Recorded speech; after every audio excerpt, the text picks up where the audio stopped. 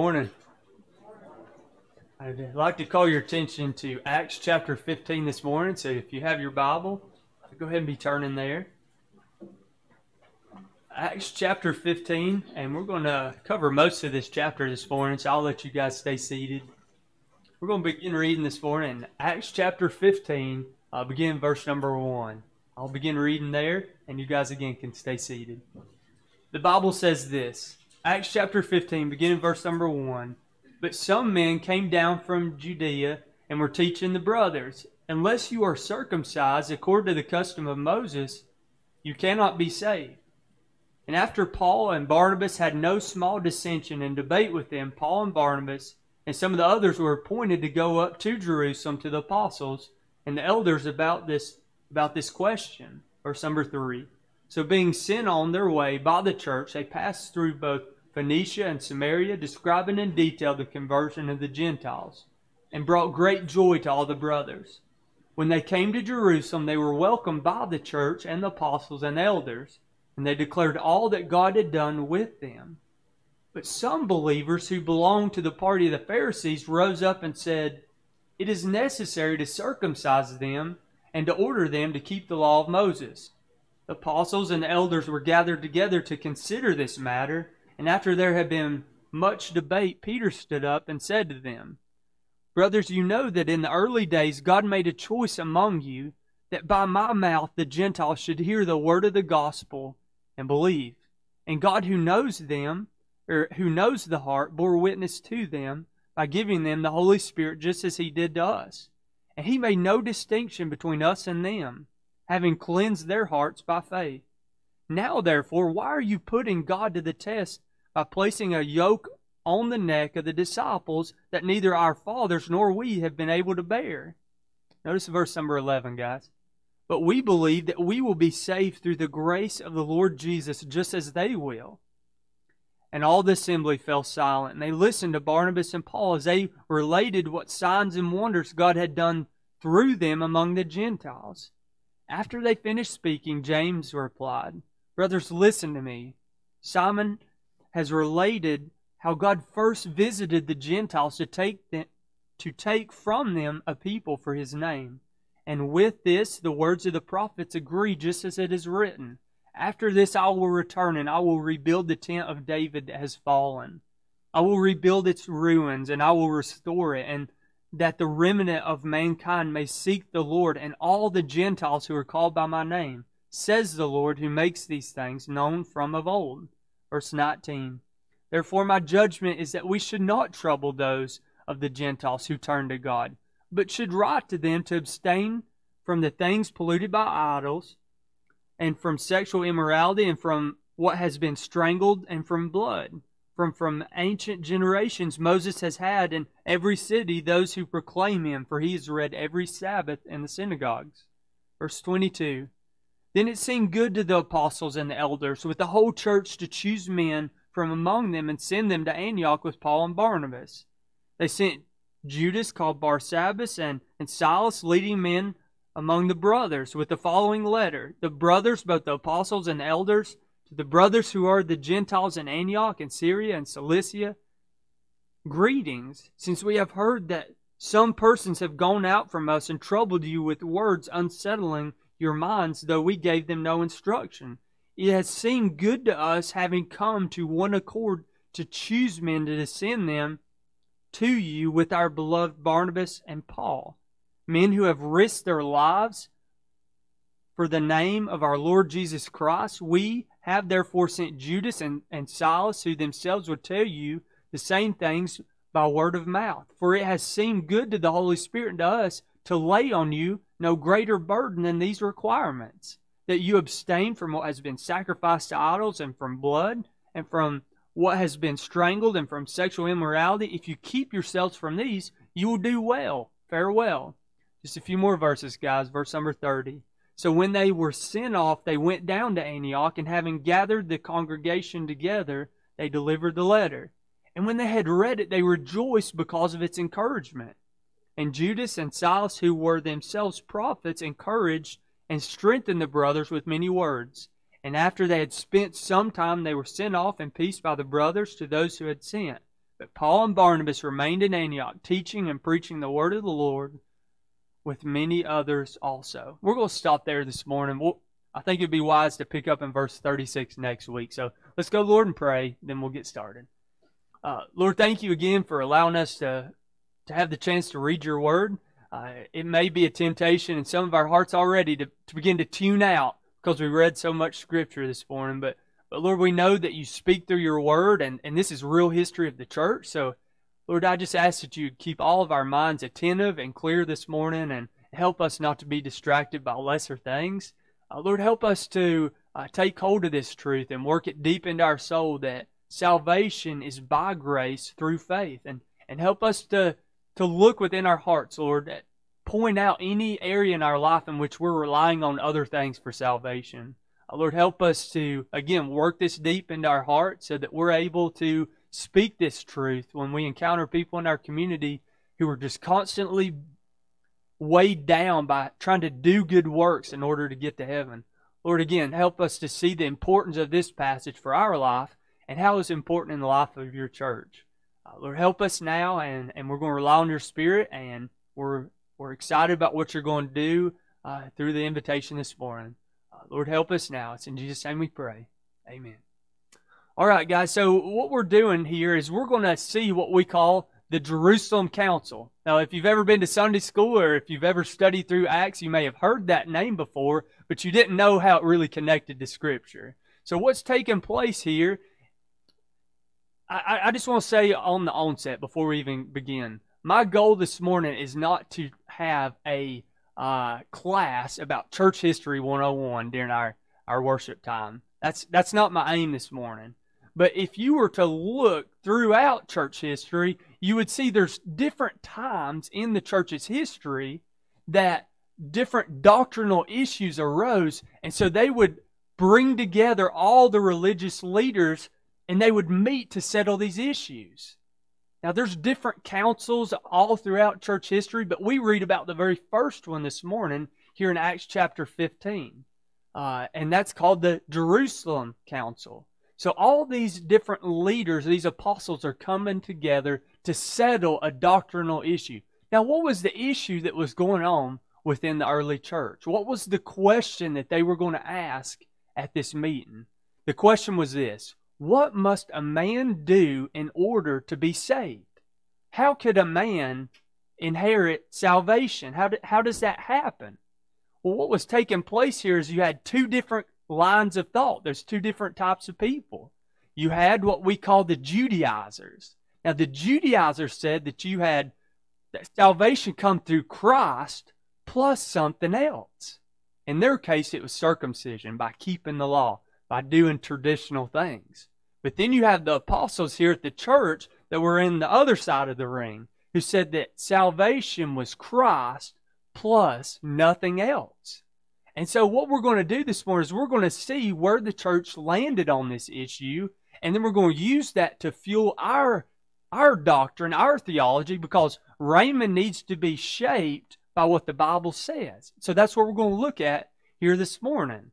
This council that we read about here in Acts chapter 15 settles for all times that salvation is by grace through faith.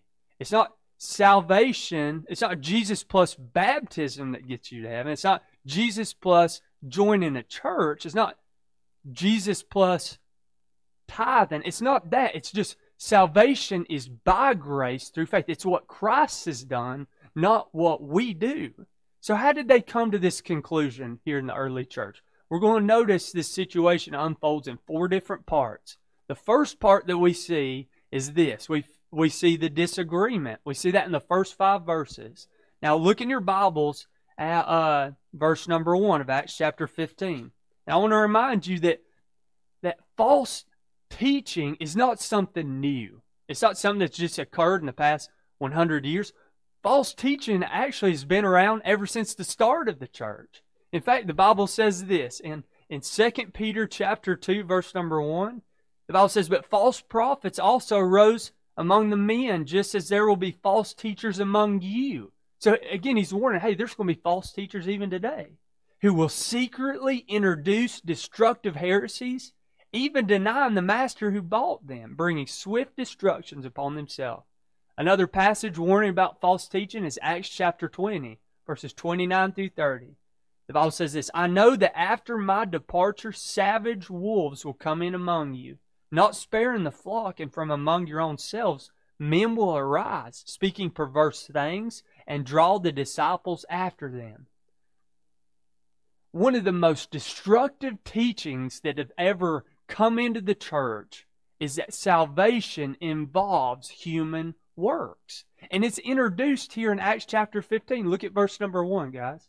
The Bible says this But some men came down from Judea and were teaching the brothers, unless you are circumcised according to the custom of Moses, you cannot be saved. Now, what's taking place here is these folks have come in and they start teaching dangerous lies within the church, and it's creating a division within the church here in verse number one. So essentially, what these Judaizers are saying to the Gentiles, Judaizers are the people that say salvation plus something else. The Gentiles are this, these new converts. They just heard the gospel and they believed. What they're saying to them is, hey, you've got to be circumcised first before you can get saved. Now, this these Gentiles thought, wait, wait a second. The preacher gave an invitation. He said, All I got to do is believe in Christ, surrender, surrender my life to Him, surrender His Lordship, and I'll be saved. The Gentiles thought, Hey, I'm, I'm legitimate. But now these people have come in and said, No, it's you got to do something else. Do you see the problem right here? They believe salvation solely come through Christ, but somebody's teaching them something else. They're telling the, the Gentiles that their faith is actually fake. Now look in your Bibles at verse number two. You're going to need your Bible this morning. Keep tracking along.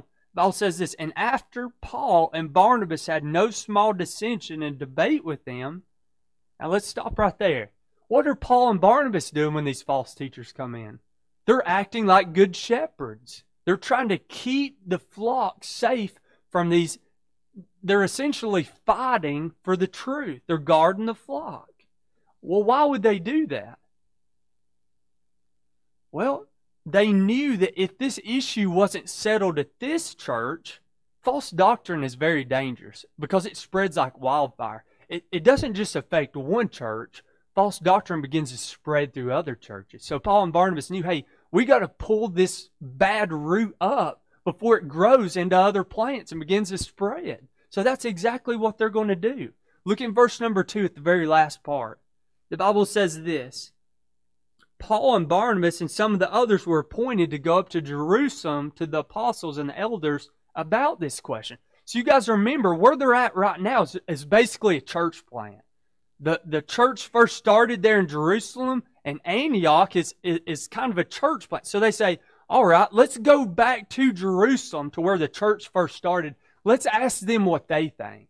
So they load up and they get, they put on their their little sandals, and they're off for that was a joke, guys.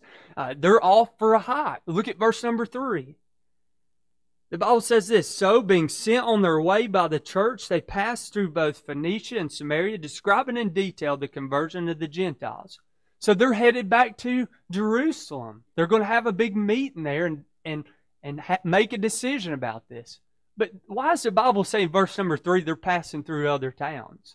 Because Paul and Barnabas are going around and say, hey, the Lord's converted Gentiles. Basically, he's raising support for his case as he goes to make it there in Jerusalem at the council. Now, these towns that were just described, they're full of Gentiles. So he's gaining a lot of support. He's, he's getting a lot of backing as he goes. Now, look at verse number four. The Bible says, When they came to Jerusalem, they were welcomed by the church and the apostles and the elders, and they declared all that God had done with them. So they finally make it back to where all, where it all first started, and they start talking about the spiritual victories and and all these casualties and just basically all that God had done through their ministry so far. Now you would think everybody would be excited, right? Oh, the Gentiles have been converted. There's so many people, new churches have been started. People are being are getting saved, but not everyone was glad about the news that they're hearing from Paul and Barnabas. In fact, look at verse number five. The Bible says this, but some believers who belonged to the party of the Pharisees rose up and said, Hey, it's necessary to circumcise them in order and to order them to keep the law of Moses. So they get back to Jerusalem, and there's people there that are even saying, hey, you're going to have to make them do this in order that they can be saved also. What these people are doing is they're they're mixing basically what they're doing, they're mixing human works with faith. And that's wrong. It's salvation by grace through faith. Again, it's nothing that we do. Anytime we add something to Christ for salvation, it's wrong. Now, why is that wrong? When we add something else to salvation, what we're saying is that Christ is not enough.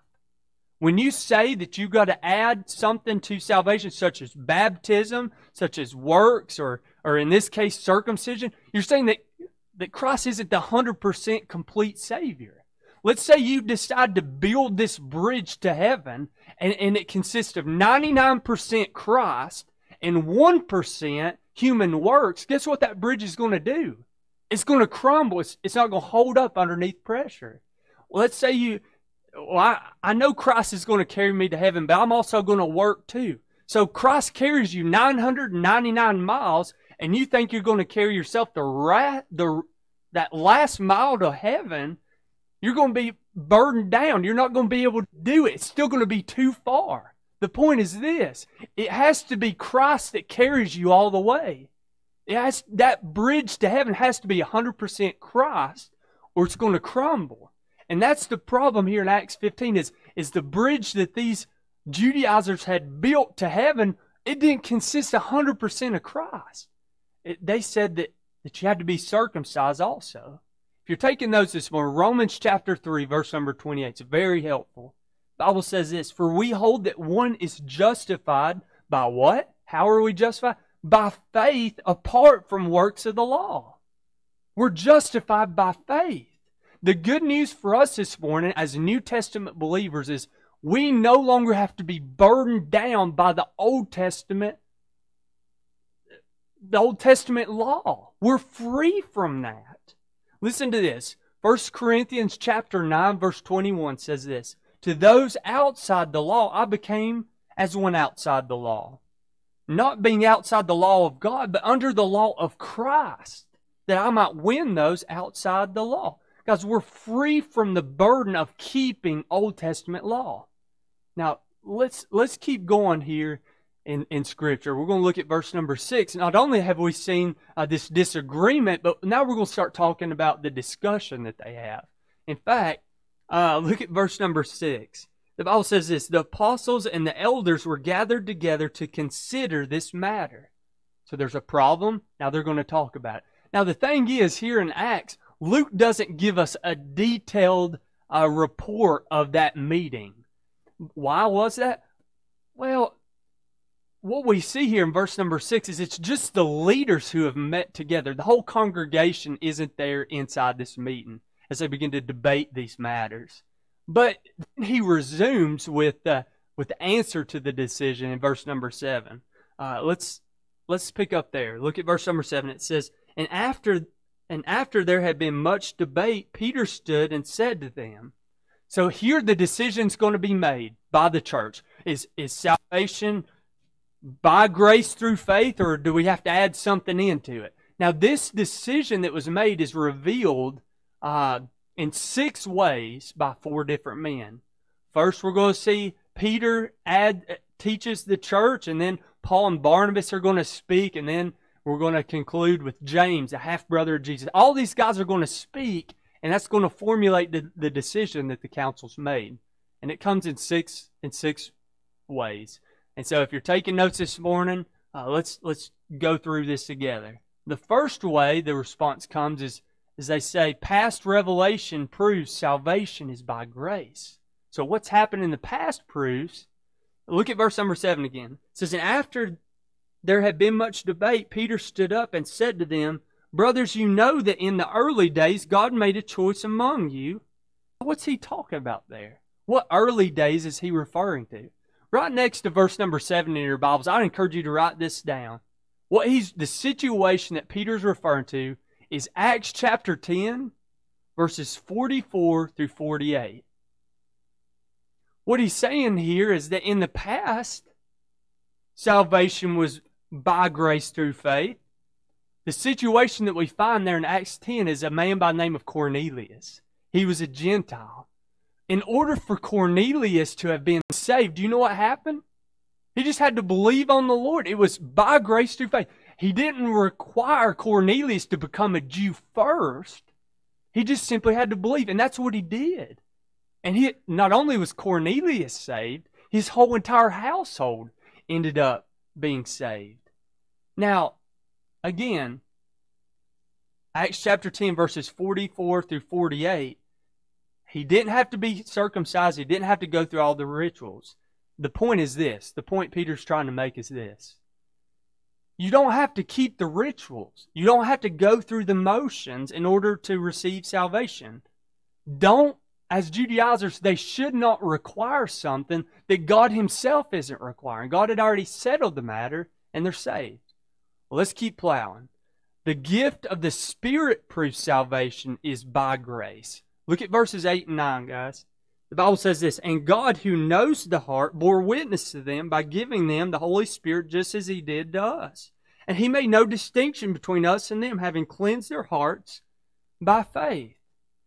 Now, he knew that people would say, well, Cornelius wasn't really saved. He's a Gentile. He, he's not really saved because he hasn't gone through the motions yet. But the gift of the Spirit was given to the Gentiles. The gift of the Holy Spirit was also given to Cornelius. God doesn't give the Holy Spirit to people who aren't saved, which again proves to us Cornelius and the Gentiles, they were saved. They were received the same Spirit. In fact, they spoke in the same languages as the people did there at Pentecost. Now, if you're looking for, for scripture references of, of when the Gentiles received the Holy Spirit, I wrote these down for you guys to jot down. Again, Acts chapter 10, verses 44 and 45, but also Acts chapter 11, verses 17 and 18. The Gentiles had received the Holy Spirit. They were legitimate believers, even though they hadn't been circumcised.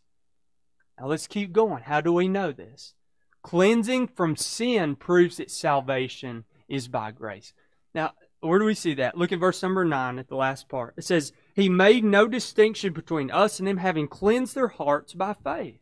You see, God was doing a work in the Gentiles' life, and it was way more important for them to be cleansed from the inside out rather than the outside in. You see, when God works in a person's heart, it's not just on the outside that they change. It's from the inside out. Now, some of you guys may be sitting here this morning and you could share your testimony this morning how before Christ you tried to clean yourself up. You tried to do better. You tried to fix your marriage. You tried to stop drinking alcohol or, or fill in the blank. And you know that you were helpless on your own. But who had to change you? It was Christ. And when Christ came in and took up residence and precedence in your life, what happened? He began to change you from the inside out. That's what's happening with these Gentiles. That's how we know they were legitimate believers. They didn't necessarily care what they looked like on the outside. They cared what they looked like on the inside. And the Bible says that they're being cleansed. Again, affirming that the Holy Spirit had saved them. Cleansing comes from God alone. We can't clean ourselves up. In fact, Ephesians chapter 1 verse number 7 says this, in him we have redemption through his blood, the forgiveness of our trespasses. Again, Ephesians 1 uh, 7 is saying we're cleansed through his blood, according to the riches of his grace. So if these Gentiles had been cleansed from their sin already because of Christ's blood, how are they going to cleanse themselves anymore by being circumcised? Again, the practical application of this is when Christ saves us, when He comes in and begins to clean our heart, we can't clean ourselves up anymore by doing something else. It is Him, it's through His blood that we're made clean, not through other things. Does this make sense so far, guys? All right, let's keep plowing. The next uh, thing I, I want us to see here is the inability of the law to save proves salvation is by grace. Look in your Bibles at verse number 10. It says, now, therefore, why are you putting God to the test by placing a yoke on the neck of the disciples that neither our fathers nor we have been able to bear? but we believe that we will be saved through the grace of the Lord Jesus just as they will. Now, Peter's warning them hey, don't challenge God's glorious, gracious gospel. And what he's saying is it's foolish to load these guys down with the law whenever Jesus himself said in, in Matthew 23, verse number 4, they tie up heavy loads and lay on them men's shoulders. It's pointless to tell these new converts, hey, now you need to keep all this. You got to do this in order to be saved. Because God had already taken that burden off of them in the new covenant. Don't go back to the old covenant. Christ has made a new one. One we couldn't we couldn't carry, we couldn't shoulder the weight of all these Old Testament requirements. That's why Christ come. Again, salvation's not by keeping all these laws. Salvation is through Christ. What he's teaching here is is well, let's keep going right quick. We've got a lot of ground to cover. What I like most as Peter concludes his little talk is verse number 11. Look there with me, guys. The Bible says this, but we believe that we will be saved through the grace of the Lord Jesus. So again, Peter concludes his speech by affirming salvation is by grace through faith. Now, verse number 12, we see the facts of the miracles prove that salvation is by grace. So now somebody else has a turn to speak what's going to happen now is Paul and Barnabas are going to take the stage. And they've been teaching the whole time this that we've been talking about that salvation is by grace. And they affirm their message by miracles. For people to believe, they confirm the message by granting different miracles. Now, think about this. The Judaizers who are teaching, they don't have miracles to back up their teaching. But but Paul and Barnabas do. Their evidence is irrefutable. Nobody can go against that. God, God's stamp of approval is there on those who are teaching salvation is by grace through faith. Now let's keep going. We're up to verse number 13 now. We got we've covered a lot of ground, got a little bit more to cover.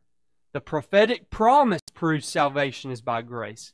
Look at verse number uh, verse number 13. The Bible says this after they finished speaking, James replied. So we've heard from Peter, we've heard from Paul and Barnabas. Now we're to James. And this guy was the half brother of Jesus. He's, he says this after they finished speaking. James replied, Brothers, listen to me. Simon has relayed how God first visited the Gentiles to take them to take from them a people for his name. Now what's going to happen now in, in verses 15 and, and following is he's quoting an Old Testament passage. And, and this Old Testament passage is Amos chapter 9, verses 11 and 12. What, what James is saying, hey, God promised that the Gentiles would be saved, that He has chosen a people for Himself, and that includes the Gentiles. Now, this is important for us to point out because what James is saying is God chose the Gentile as a Gentile. He didn't choose the, the Gentile that had to become a Jew first. Now, let me explain how this plays out practically. In order for you to be saved, it's not like we welcome people into the church and have to become a member first and dress the way that we dress and do the things that we do in order to be saved. God saves them as they are and then begins to change their heart. Do you see the application there? It's important. So, after all of this is begins to play out, after all the speech is made, now they got to make a decision. So what side is the church going to going to camp on? Let's see the decision. This is our third point, and then we're going to go towards the invitation. We see that verse number 19. All the evidence is presented. Notice what happens next in verse number 19. The Bible says, Therefore, my judgment is that we should not trouble those of the Gentiles who turn to God. Now, who, whose judgment is this in verse 19? It says, Therefore, my judgment is. Who's that referring to? That's talking, the person that's speaking there is James. He's the leader of the church there at Jerusalem. So he had a lot of, he had a lot of power there in the church. He's essentially saying this, that keeping the law, observing the rituals were not requirements of salvation. Guys, listen, I'm thankful that the church sided on that, right? That we don't have to go back to the Old Testament and, and hold all this. because we couldn't bear it on our own. But he goes on in verse number 19. He says, We should not trouble those of the Gentiles who turn to God. So basically, he's, he's calling out the, the Judaizers, saying, Hey, don't mess with these new converts. Don't be teaching them your garbage, your false doctrine. Don't, don't be doing that anymore. Because this is what God's Word says. This is what the church affirms. And we're going to leave it at that. But, but not only that, he didn't want the Jews to bother the Gentiles, but he didn't want the Gentiles to bother the Jews. Now, he didn't want the Gentiles to come to the Jews and say, hey, all that Old Testament stuff is done. It's gone. Because he knew that these Gentiles would have these Christian liberties. Hey, we don't have to do that anymore. And that could create uh, some fuss within the church. So notice verse number 20, what they do. The Bible says this, but should write to them to abstain from the things polluted by idols and from sexual immorality and from what has been strangled and from blood. What they they didn't want these new Gentiles after they received the news to destroy their testimony in the community. Say, hey, I don't have to do the Old Testament anymore. I can do whatever I want. I'm saved by the blood. I I can do whatever. Mean, it doesn't matter. So what they decide to do is to send letters out to all the church about this decision. But with the letters, they're sending other men with them. Why would they do that? If these people have traveled from Antioch, I forgot my map this morning, but they're traveling from Antioch to Jerusalem, and then they got to go back and report. Well, they know Paul and Barnabas are partial. They got to send other people back with them the more people that go, they know, okay, this really is real. Gentiles are truly saved when they turn to Christ. So let's keep let's keep going here. Now that this doctrinal issue is resolved, they got to turn again to the fellowship issue. So they write this letter. Uh, look at verse number 22. Then it seemed good to the apostles and the elders and the whole church to choose men from among them and send with them to Antioch Paul and Barnabas. So they're going back anyways. But they also sent Judas called Barsabbas and Silas, leading men from among the brothers. So the head honchos are, are going back with them. And then whenever you get to verse number 23, that's the actual letter that they sent out to the churches. And it goes all the way. Uh, verse 23 starts the letter. But we're gonna we're gonna pick up on down. Now look at verse number thirty. That's the end of the letter. It says, So when they were sent off, they went down to Antioch, and having gathered the congregation together, they delivered the letter. So they say their goodbyes, they, they pack their uh, saddlebags, they head back with the letter, and when they're there, the entire congregation at Antioch had been waiting anxiously to see hey, is my faith genuine? Is am I a legitimate believer? Now, what were their responses when they hear the news? There's four responses of these of these Gentiles, and we see this in Scripture. Uh, the first response of these people, uh, look at verse number 31. It says, When they had read it, they rejoiced because of its encouragement. Hey, these people that hear that they don't have to do anything else to be saved, their first response is they rejoice. They're excited they realize that this burden had been lifted off of them for, for however long it had they had to travel. They're thinking in the back of their mind, Am I really saved? They needed that assurance of salvation. So they rejoiced. That's their first response. But also, the second response was consolation. So this fear had been lifted. Their salvation was before was not guaranteed, or so they thought.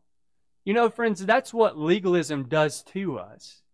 Those that preach this false gospel that says salvation is Christ plus something else, do you know what that does to us? It produces fear in our hearts, it produces guilt. Uh, there's different men that I have uh, had the pleasure of meeting with over the past couple of years that come from different denominational backgrounds that are still living with fear and anxiety that they're not doing enough. And so, whenever we land on the side that salvation is by grace, do you know what that produces in our heart? Freedom and hope. For I hope that's where we always land. That it's not about us; it's what He has done. So there was consolation there when they received the news. But there's more. There's more responses. Third, there was confirmation. Look at verse number 32. The Bible says this And Judas and Silas, who were themselves prophets, encouraged and strengthened the brothers with many words. So again, two leaders from the church at Jerusalem had come, and again, they're affirming the words of Paul and Barnabas. So they again, it's like a stamp of approval. Number four, and then we're going to the invitation. The fourth response was continuation. Look at verse 35. I like this part.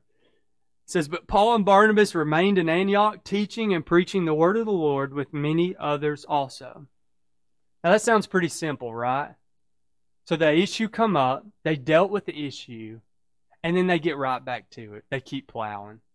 That's pretty amazing, right? They get back to doing exactly what they were doing before, preaching and teaching that salvation is is is by grace through faith, and they don't let up.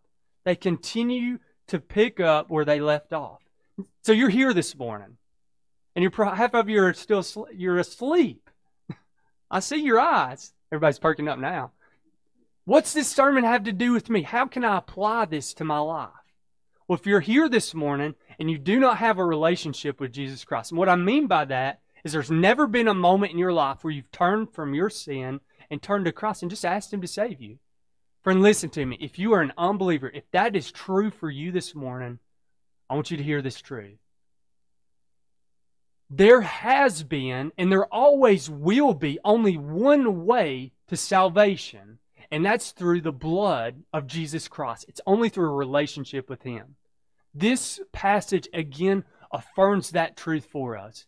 You do not have to do anything in order to accomplish salvation. Salvation has already been accomplished through a man who came and he lived a completely perfect life. He wasn't just a man, he was a God man.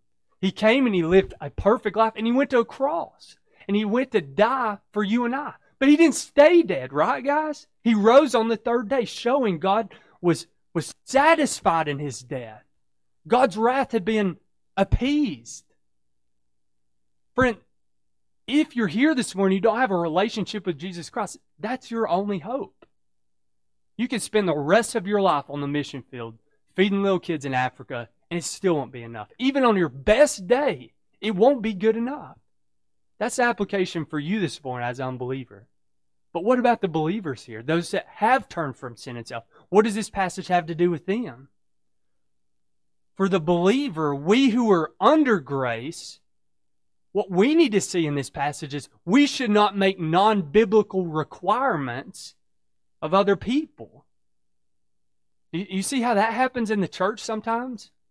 We make our life the form or the mold, and everybody else has to form to it instead of allowing God's Word to be the mold in which we're poured into. Like, we shouldn't require other people to be like us. We should require other people to be like Christ. For example, how we dress. Like, we shouldn't expect other people to dress the way that we do. We should expect them to dress the way God's, God desires modesty. Do you see what I mean? Like, not everyone has to wear a tie. That's okay. As long as we're modest. We shouldn't expect people to run the church exactly like we do. We have, we have different leadership styles. We shouldn't compare ourselves to other churches or compare those churches to us and look down on them because they're doing something a little different. What about our standard of living? We look at other people that may not have as much money as us or, or other people that do have more money, and sometimes we look down on them. You see how this applies to believers? What about our personal taste? I mean, I can't believe that person drives a Ford or a Chevy or a Kia. I don't know if anybody drives a Kia. If you do, I'm not bashing Kias. I'm just, anyways. Again, we shouldn't impose our personal taste on other people and look down on them as less than or less than holier than our than us. What about music taste or worship styles? Sometimes we look down on other people and, and impose unbiblical principles on other people. And, and we shouldn't do that. If we try to push any of these things off on other people as necessary for grace, then we're just as guilty as the Judaizers. We're just like these people in this passage. It's so easy to push our preferences off on other people. And if we assume, if we see that they're doing things different than us, sometimes we think they're less spiritual. And, and sometimes that's not the case. Sadly, many churches today, and you guys know this, radiate heritage more than they radiate the gospel. And that's a problem. We should radiate what this book says instead of our personal preferences. Let me share an illustration with you and then we'll almost be done. I keep saying that, but we just got a little bit more. Has anybody ever heard of a man named Winston Churchill? Maybe you have. Uh, Winston Churchill told a story one time of a family that went down to the lake for a picnic. Now, this family had a couple of kids and they're having a great time. But over the course of the day, they noticed next to the lake, their five year old son had fallen into the lake. To most of us, that wouldn't be a problem—we'd go fish him out. But the problem for this family was no one could swim. And as they watched this little five year old boy just begin to bobble up and down in the water as he tried to get a breath, they were screaming for help. Well, a man began to walk by and he noticed all the commotion. So he runs at a dead sprint over to the water as he sees the little boy begin to sink down that third and last time. Well, the man jumped in fully clothed. Thankfully, he reaches the boy, drags the boy to shore. The boy was okay. Now, instead of just uh, thanking this man for his heroic efforts, do you know what the mom did? She snapped at the man and said, Where's Johnny's hat? Where, where's his hat? And all the commotion that went on in the boy in the lake, somehow he had lost the hat. But all this lady could do, instead of being thankful for the deliverance of her child, she found something critical to point out. Now, you say, what's this have to do with us in Acts chapter 15? Sadly, many times, we within the church are just like this woman. Instead of rejoicing in the deliverance of people, we like to point out the flaws and, and, and be critical, especially of our brothers and our sisters in Christ. This sort of attitude, this critical attitude, attitude is not only bad for us, it's, I mean, it's dangerous within the church. It's deadly. I want to give you one more principle, and I promise we're going to an invitation. As a believer, because we are under grace, we gladly restrict our freedom for the sake of others. Now, it was not wrong for these Gentiles, now that they had been saved, to eat meat. I mean, they could have went out to the market and just got a big old filet mignon and just ate it raw. Because of the new covenant, they could legally do that. The Old Testament, no, you wouldn't. You had to boil your meat or make sure it's well done. The Gentiles could have done that, but because of Christ, they, I mean, they, there's a lot of freedom there. Today we call it Christian liberties. But what James says in these final concluding thoughts, he's talking to these Gentiles to say, hey, don't, don't do anything that would cause a rift in the fellowship. I want to read you a passage of Scripture. This is 1 Corinthians chapter number 9, verse number 19. It says, For though I am free from all, I have made myself a servant to all, that I might win more of them. To the Jews I became as a Jew in order to win the Jews. To those under the law I became as one under the law, though not being myself under the law, that I might win those under the law. I'm going to explain this in just a second. To those outside the law I became as one outside the law, not being outside the law of God, but under the law of Christ, that I might win those outside of the law. The point is this we as New Testament believers have so much more freedom than Old Testament saints. There's a lot of things that technically we could do. As long as we have a clear conscience, we could probably do that. Mowing grass on Sunday. Like, technically, we could probably do that. Now, for me, that could be a stumbling block to other people. You're not going to see me mowing grass here at the parsonage on Sunday because that could cause someone else to stumble. There are people that try to make the case that you could drink alcohol with your spouse in private and that would be okay, that would be permissible. What 1 Corinthians 9, and I believe this passage affirms, is okay, that might be permissible, but it's not always profitable. Friend, if I walk through Kroger with this, I don't even know what size pack, just a pack of alcohol in my buggy, that's going to cause someone to stumble when they say, hey, he's a pastor of Raymond Baptist Church and he's doing that.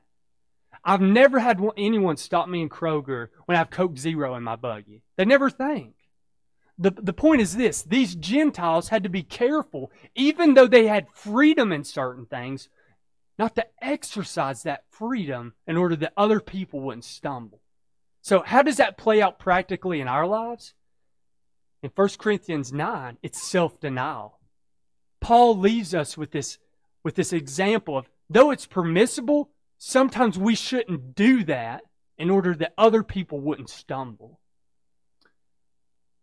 Maybe it's the way that we dress. Maybe some people say, well, I can dress this way, and uh, there's Christian liberties in that.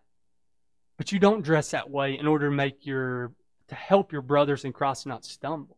You see how this plays out practically? Or there's some Old Testament laws that say you shouldn't trim the sides of your beard. I mean, I think there's Christian liberty. You can use a razor now. I think that's all right. I like using a razor all you beard wearers, I'm not, I'm not, I hope I'm not offending you this morning. Anyways, the food that we eat, there's Christian liberty in that. I love bacon or anything pork. Like, there's liberty in that. The Sabbath laws.